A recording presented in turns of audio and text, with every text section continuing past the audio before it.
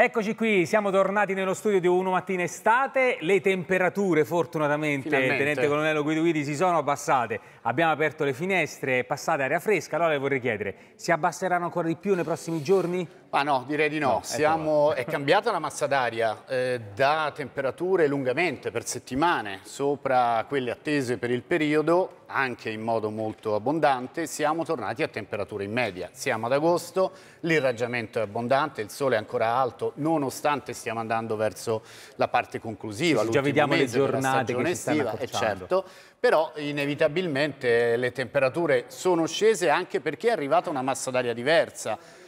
Abbiamo avuto per settimane una persistenza di aria che veniva dal Nord Africa. Non ha interessato direttamente l'Italia, ma più direttamente la Spagna e la Francia meridionale, però noi ne abbiamo subito molto gli effetti.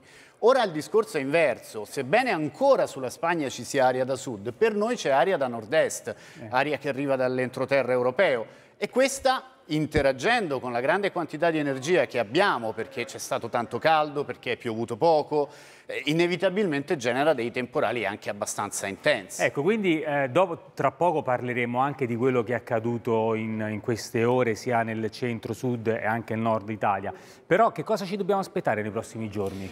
Ma il, il comune denominatore sarà proprio quello dell'instabilità pomeridiana. Se avremo dei valori di temperatura che sono tornati in media, come dicevamo, sui 28-32 gradi per quel che riguarda le zone interne del nord e del centro, avremo però dei temporali. In particolare, oggi come domani, come dopodomani, sarà maggiormente interessato il nostro meridione. Le regioni del basso versante tirrenico a rischio di temporali anche intensi, come è accaduto ieri, come ci aspettiamo per oggi e come vedremo anche per venerdì, quando però un nuovo impulso da nord-est, quindi ancora dell'aria fresca da nord-est, riporterà una piovosità più accentuata anche sulle regioni nord-orientali confinata sui monti, ma nella possibilità di scendere un po' più verso la pianura verso la fine della giornata. Allora io le chiedo gentilmente di spiegarci proprio quello che accade eh, rispetto a quello che stava raccontando. Abbiamo detto che abbiamo tanta energia, lo vediamo anche dalla cartina da questo bel colore, no? quindi molto Certo. caldo. Arriva aria più fresca da nord-est. Che cosa accade quando si incontrano? In questo caso si dice che per effetto della differenza termica negli strati più bassi e in quelli più alti, la verticale, cioè l'atmosfera diventa instabile.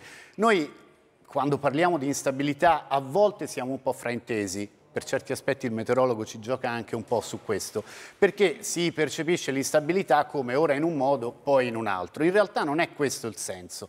Il senso è che quando l'atmosfera si dice instabile vuol dire che è incline a far sollevare l'aria. Se l'aria si solleva e si espande per sollevamento perché diminuisce la pressione atmosferica salendo, questo- questa espansione genera raffreddamento, ma l'aria può contenere il vapore in ragione della sua temperatura. Se si raffredda deve necessariamente condensare il vapore in essa contenuto e quindi, E quindi si formano eccoli. le nubi. Quindi immaginate quindi questa grande aria che dal basso va verso l'alto si raffredda e poi dopo Una bolla d'aria che sale pian piano diventa sempre più grande, più ricca di acqua che è condensata, che poi diviene anche cristalli di ghiaccio, maggiore è questa differenza di temperatura, questa spinta verso l'alto, più alta sarà la nube, più intensa sarà la Noi pioggia. ritorneremo anche su questo perché poi cercheremo Volentieri. di spiegarlo anche eh, rispetto a quello che potrà accadere a settembre-ottobre quando arriverà ancora aria fredda proprio su questo. Beh, sarà son- diverso però sarà eh, diverso. rispetto a questo genere di E eventi. allora siamo curiosi, grazie intanto Grazie al Tenente. Colonnello Guido Guidi.